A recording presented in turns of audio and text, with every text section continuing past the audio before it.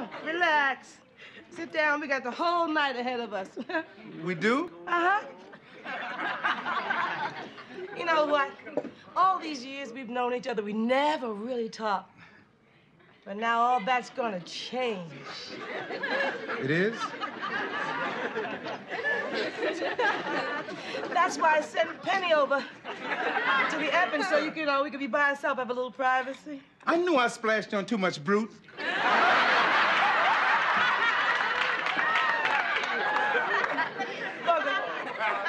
Sit down, please.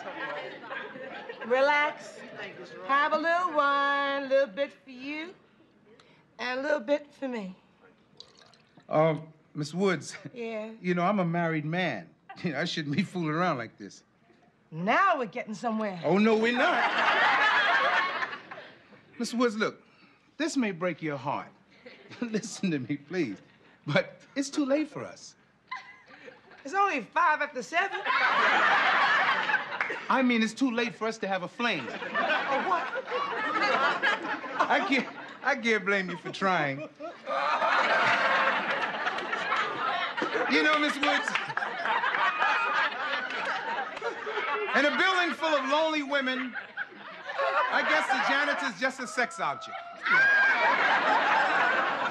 Of course, if it's any consolation, if we'd have met 20 years ago. Get your hands off me, fool.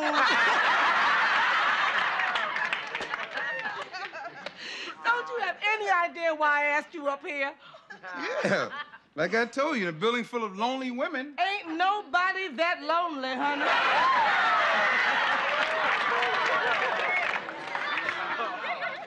I asked you up here, Booger, because you're my friend, and I'm just trying to help you save your marriage. What are you talking about? There ain't nothing wrong with my marriage. When's the last time you looked?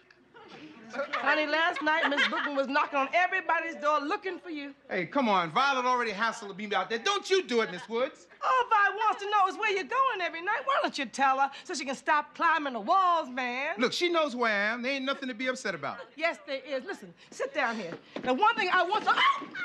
What? She did now. Oh, now, wait a minute. Can't go out like this.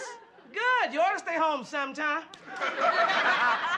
Look, Miss Woods, do me a favor, please. Can you take your stain out? Oh, you want me to do you a favor? I'll put you on the list like you do me. Please. Oh, okay, okay. Take your pants off. What? I said, take your pants off. Where am I supposed to go? Go into the bathroom, take off your pants so I can clean them. What you doing wearing your Sunday suit in the first place? You are janitor, don't you know that? Never mind that, Miss Woods. Please get the stain out. I got an appointment in 20 minutes. Uh, what kind of appointment? Oh, it's not that important. Well, if it ain't that important, why are you in such a hurry? Well, I, I got to catch up on some work. Oh, now I know that's a lie.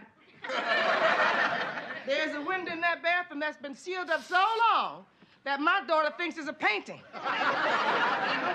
Don't worry, I'll fix it tomorrow. Hurry up, please. Tomorrow, tomorrow, tomorrow. Lord have mercy. You got enough material in these pants here to make new costumes for the Silvers. I tell you, you ought to be ashamed of yourself. Hi, Lola. Hi, Bar. Nathan said he had some work up here. Uh, where is he? Oh, well, you know, hey, um, Hey, hurry up. I ain't got all night, you know.